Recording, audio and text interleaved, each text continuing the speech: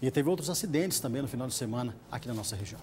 Antônio Carlos Moreira, de 41 anos, sofreu ferimentos graves depois de se envolver em um acidente na PR-090 entre Sertanópolis e 1 de Maio. Ele foi socorrido pela equipe médica do SAMU e foi levado ao hospital universitário.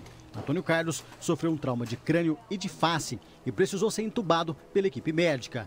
Ele corre risco de morte. Já na PR-445, outro acidente foi registrado.